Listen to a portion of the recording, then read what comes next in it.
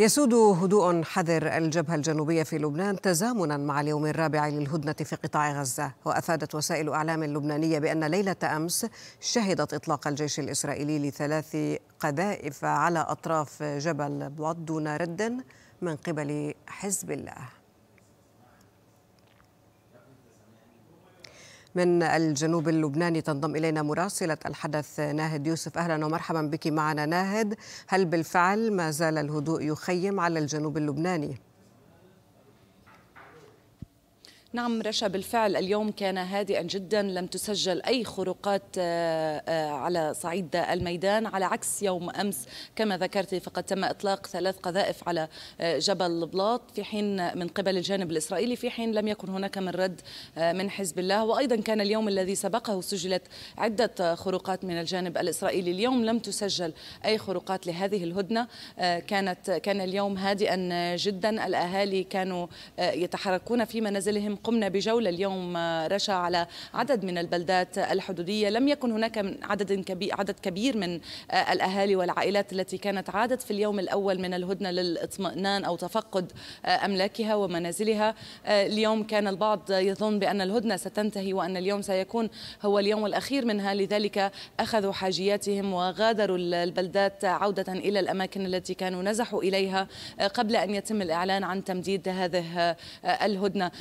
الذين تحدثنا اليهم إليهم أو الذين صادفناهم كانوا يقولون بانهم بأن المشكلة الأساسية اليوم هي آه، التعويض عليهم خصوصا آه، هؤلاء الذين تضررت منازلهم أو دمرت. بالفعل كنا رصدنا عدد كبير من المنازل التي كانت آه، لحق بها دمارا كبيرا. هناك منازل أخرى أحرقت بالكامل. ولذلك اليوم الصرخة هي للتعويض على هؤلاء حتى التعويض على أرزاقهم في حين بعض الأراضي الزراعية.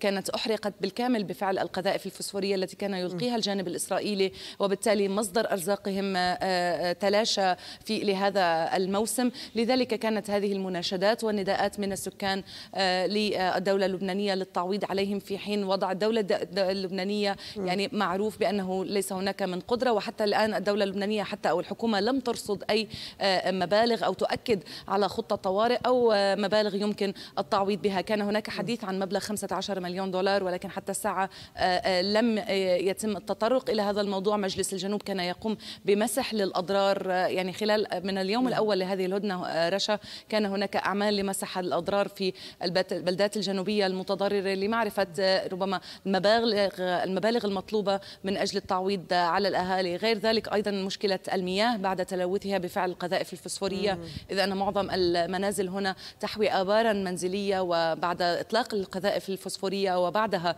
تساقط الأمطار التي امتزجت بها وسحبتها إلى الآبار. هذا الأمر أدى إلى تلوث المياه وكانت هناك مناشدات بعدم استخدام هذه المياه قبل إجراء عملية تنظيفها ربما وتنظيف هذه الآبار قبل الاستخدام. لذلك بالفعل يعني حتى وإن كان الجو هادئ وليست هناك من أي خطورة على حياة المواطنين. بفعل القصف الإسرائيلي إلا أن المشاكل أصبحت الآن مضاعفة عليهم خصوصا في ظل هذه الأزمة الاقتصادية التي في الأساس يرزح تحتها آه، اللبنانيون. غير ذلك هناك طبعا ترقب لما قد تحمله الساعات المقبلة. عدد من الأهالي قالوا بأنهم لن يعودوا آه، إلى آه، بلداتهم قبل التأكد بالفعل من أنه أصبح الوضع آمنا وأن الحرب انتهت في غزة حتى لا تنعكس طبعا على البلدات الجنوبية الحدودية.